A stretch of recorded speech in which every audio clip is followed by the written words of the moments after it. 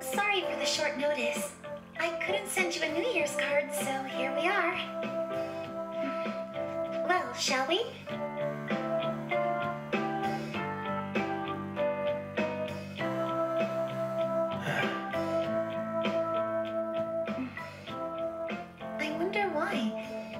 many people here at all. It's really unexpected. I'd almost prefer the usual crowd. Man, the end of the year was just a few hours ago.